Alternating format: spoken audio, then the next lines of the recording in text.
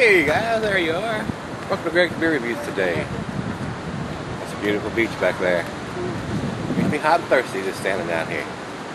Time for a beer, what do you think? I think so. Let's go see what's in the fridge, guys.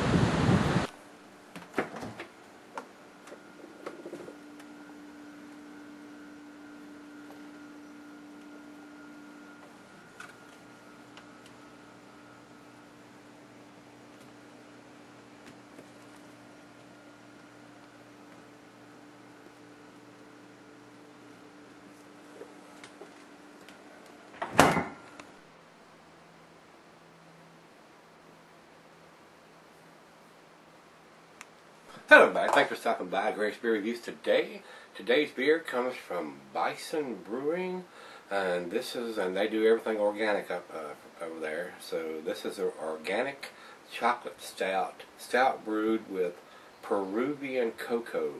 And basically, when I read that, I said, well, you know, that their beers really had to improve. They have been bad, but they've not been overwhelming. I've not found a an A organic beer yet. I don't think so. Maybe this will be the one.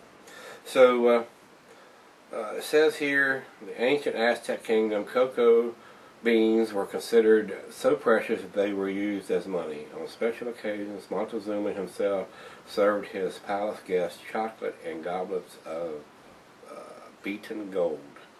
Cheers, Dan. Alright guys, 5% alcohol by volume on this. That's why we got the pint glass instead of the, the uh, double glass that I normally use for the porters and the stouts. Very low ABV, very sessionable, I would think, uh, being a 5% beer. Says year-round availability on this. The food pairings cuisine is barbecue.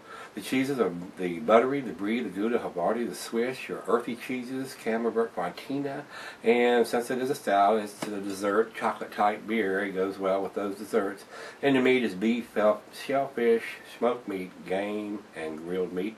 Glass for the pint, Becker Stein, the mug, the tumbler, and not recommended for extended cellarings since it is a 5% ABV beer. So Without further ado, off with the cap. Whoops, not quite enough. Off with the cap. And we'll check for a date when I come back and do the final chug.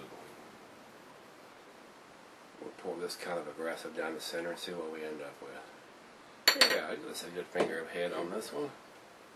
About a finger of head. Over into the light. It is a it is dark in the center, but I have a lot of red ruby tinges around the outside. I, I can see a little bit of redness around the outside, so it's not pitch black. It's like a deep cola color. Let's get a nose on it. I definitely smell that chocolate there, or the cocoa. The head is uh, fairly uh, fairly creamy on top. There are a couple big bubbles in there, but it looks fairly creamy. About a half a finger still staying on the glass. I get cocoa and chocolate, roasted malt,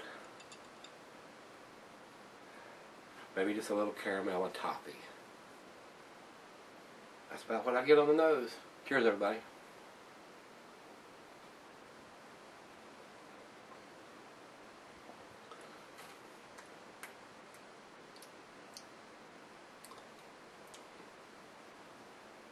Chocolate.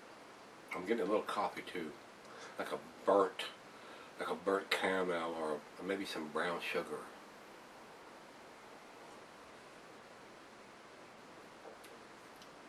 A little on the bitter side, like a bittersweet chocolate to me.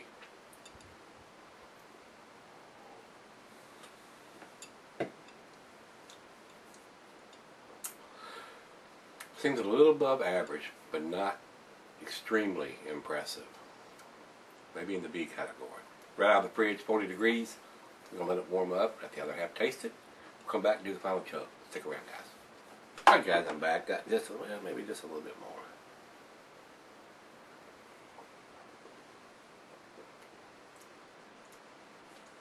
Slightly above average, guys. I mean, it doesn't have the taste there for me, and kind of expected that with the organic.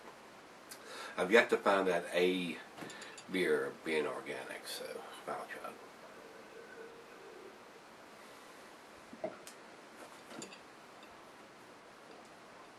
Definitely chocolatey, roasted malt, very thin, very watery. It's slightly on the bitter side. I think it could have been just a tad sweeter than that, but it couldn't have been super sweet. So, and I think we were going to look for a date.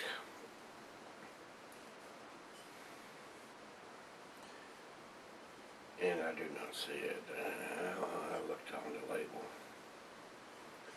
Don't see the dating on this bottle, guys. So being a five percent, we kind of want to know that, I believe. Even though it's not an IPA, nothing's going to fade, but we want to be drinking fresh beer, and not a beer that's been sitting on a shelf for a month or I mean a month or a year or two. But anyway, I'm not super impressed, guys. I'm gonna give it a six, which is the B. Uh, RateBeer says 91 overall and 89 in the style, which are pretty impressive numbers on the overall. And the style I kind of agree with there. It's a little on the thin and watery side, but you know, it's a 5%, very sessionable.